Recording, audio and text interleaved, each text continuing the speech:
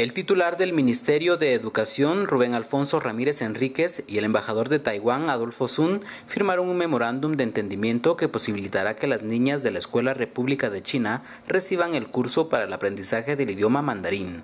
La instrucción en el marco de este proyecto será impartida por expertos guatemaltecos ex becarios, así como taiwaneses, con el propósito principal de contribuir al enriquecimiento cultural y académico de las alumnas de cuarto, quinto y sexto primaria del establecimiento en mención.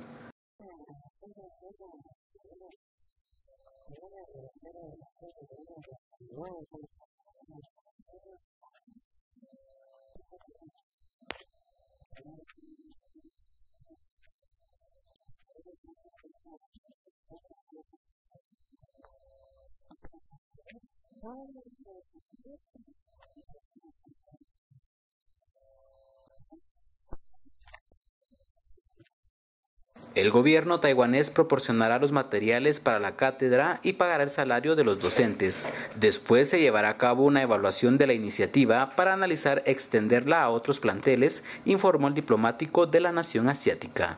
Para DCATV informó Jarvin Yelmo.